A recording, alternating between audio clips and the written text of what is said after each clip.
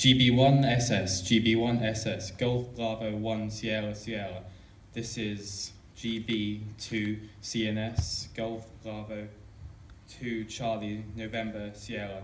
Listening and standing by for scheduled contact with the International Space Station. Over.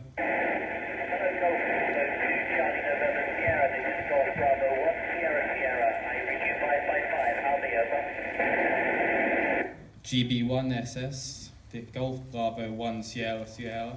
This is GB2 CNS, Golf Bravo 2 Charlie November Sierra. Listening and standing by for scheduled contact with the International Space Station. Hello, Golf Bravo 2 Charlie November Sierra. This is Golf Bravo 1 Sierra Sierra. I read you 555. I'll be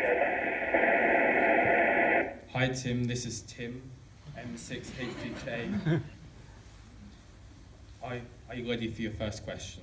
Over. It's great to be talking to you, Norwich, and yes, I'm ready for my first question. Over. Hi, this is Maddie. What do you do if you cut yourself really badly in space? Over. Hi, Nigel. We do have uh, to use sometimes up here, so we do have to be careful. If we get a really bad cut, then we could actually give ourselves some local anaesthetic and stitch it up uh, with the help of some doctors back in uh, ground control if we need to. Over.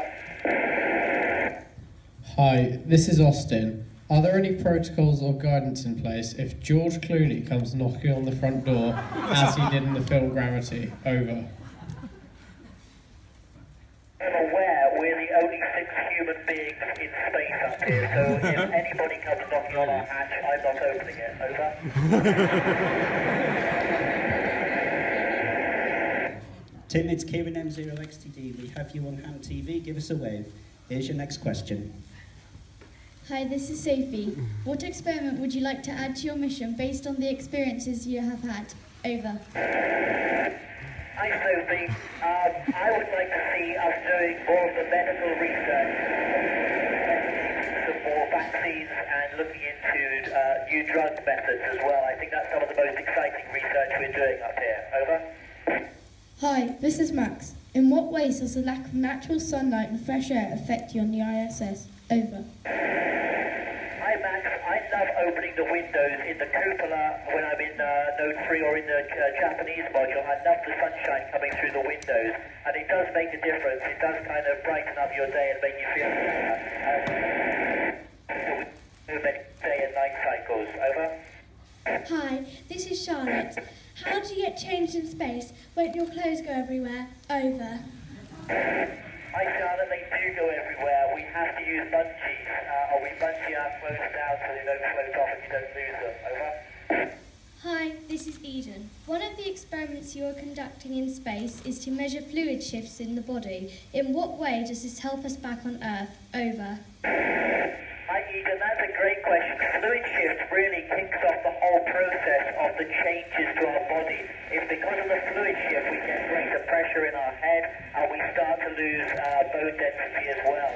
So that triggers all the changes and it's by changing things in our body that we can learn about our body or we can investigate these things. Over. Hi, this is Thomas. With the basic design of current spacecraft dating back decades, where do you think the next leap forward in spacecraft technology will occur? Over. Hi, Thomas. Yes, I mean, we're playing with the basic rules of physics and gravity here and laws of motion. So um, I think that we're going to see big changes to our spacecraft in terms of our transit to Mars and transit to Moon. Uh, but in terms of getting to low Earth orbit, I don't think we're going to see many big changes uh, that we have in current spacecraft design. Over.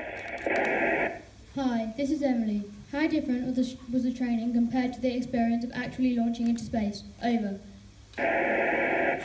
Believe the training was so good that it really prepared us for launching into space, and there are very few differences between what we were training for on ground and how we live and work up here in space. Over. Hi, this is Millie. With improving technology on Earth, are there experiments that you are currently carrying out in space that could one day be repeated on Earth? Over.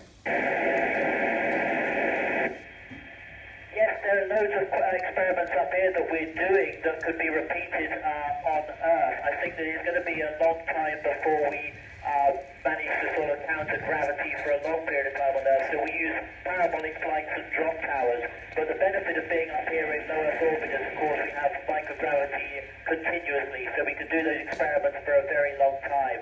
Uh, but we do repeat the experiments back on Earth, of course, to see the changes, to see what's difference between space and Earth. Over.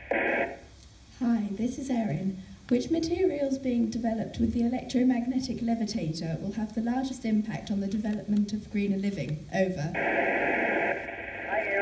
Hi, Erin. Well, I think the metal alloys are the one area of research that are going to have the big impact on greener living uh, because that will affect how uh, engines are designed um, and uh, in particular our commercial aircraft turbine blades, turbine engines, for example, which will cut down fuel production and cut down fuel usage and uh, have a good impact in, in aviation. Over. Hi, this is Maddie asking you this question. Since being in space, what has been your most amusing dream? Over. Hi, Manny. You know, I, I haven't dreamt much up here in space. Uh, and when I do, I dream of Earth. I haven't yet dreamt of being in space. Um, and I think it's because we, we sleep quite heavily up here, actually. I, quite, I sleep quite well here in space. Over. Hi, this is Austin asking Libby's question. If everyone in Britain turned their lights on and off at the same time, would you see it from space? Over. You definitely would see it. You know, we would see a, a small village if you turned your lights on and off. It's amazing that uh, we, the lights really stand out very well from space. Um, certainly a, a major city turning their lights on and off would stand out very clearly. Over. Hi, this is Sophie asking Ella's question. Which part of the Earth do you like orbiting over the most and why? Over. Uh, I love orbiting over Africa. It just looks beautiful from space. It's like flying over a, a canvas of art. Um, and also North Northern Canada is beautiful, especially right now with all the ice and the uh, even the sea is frozen up there. Over. Hi, this is Max asking Amy's question. With sunrise and sunset occurring 16 times a day on board the ISS, does it have any noticeable effect on your body clock? Over. It does. You know, if I'm looking in the cupola late at night when it's bright sunshine, it does take me a while to get to sleep. Uh, so I try not to do that. You have to kind of try and trick your body that it's nighttime when it's time to go to sleep. Over. Hi. Hi, this is Charlotte asking Mimi's question. How does being in space make you relate to your place in the universe? Over. Hi Charlotte, that's a great question. You know, I mean, being up in space gives a different perspective. And it makes you realize how vast the solar system is, how vast the universe is, and also it makes you realize that our planet, uh, you know, it has no borders. It's got massive weather systems that uh, affect all continents, and so it does give you that perspective of, of the planet as a whole. Over. Hi, this is Eden asking Bruno's question. Is there a song or a piece of art that you think reproduces the feeling of being in zero gravity? If so, which one? Over.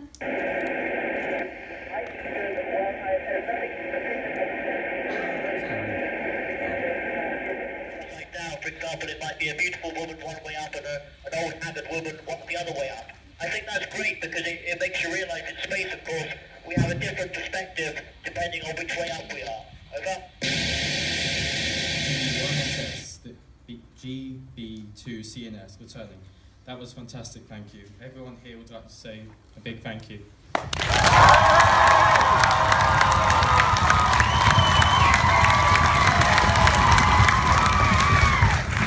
This is GB2CNS handing back to handing back to GB1SS for the final. GB2CNS off and clear. It's been wonderful talking to everybody in Norwich this afternoon. Have a great day and thank you for those brilliant questions. Uh, goodbye from the International Space Station.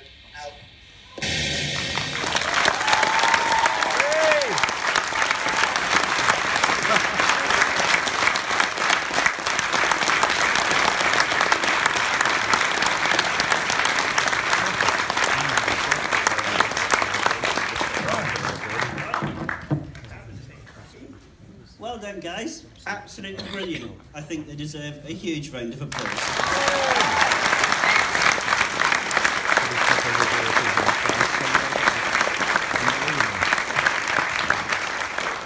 And for putting somebody who's only just recently passed his amateur radio exam on the mic, well done, Tim.